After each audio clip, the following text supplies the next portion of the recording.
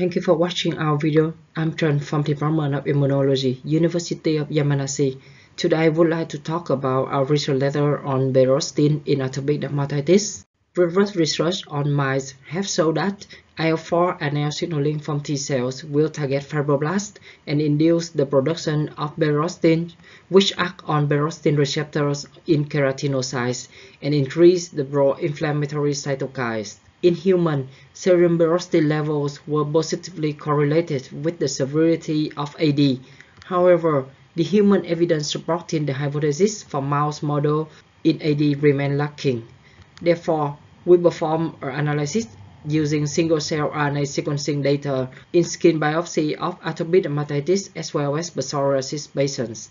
After quality control, there are more than 200,000 cells remain for analysis.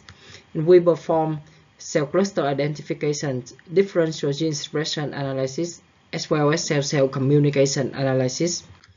First, we identify 17 major clusters. Among them, number of proliferating keratinocytes were higher in AD as well as psoriasis. However, the number of T cells and proliferating T cells were very prominent for AD.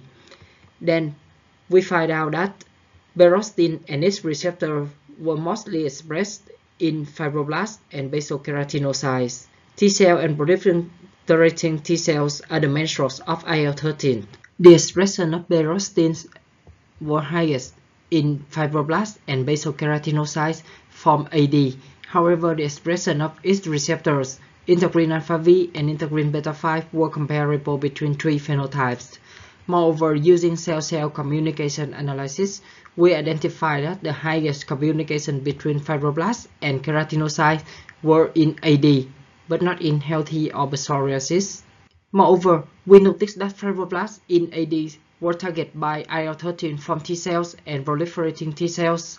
Then we choose to focus on periostin, IL-4R and IL-13RA1 triple positive fibroblasts. We noticed that there are higher number of D cells in AD compared to healthy and psoriasis.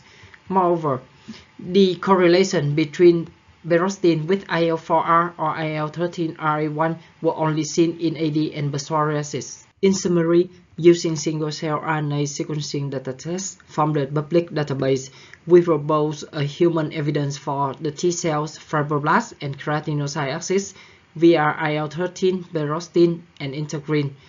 Therefore, periostin is a key molecule linking the H2 response to keratinocyte activation, and we suggest that modulation of periostin signaling may be beneficial for AD. Thank you very much for watching.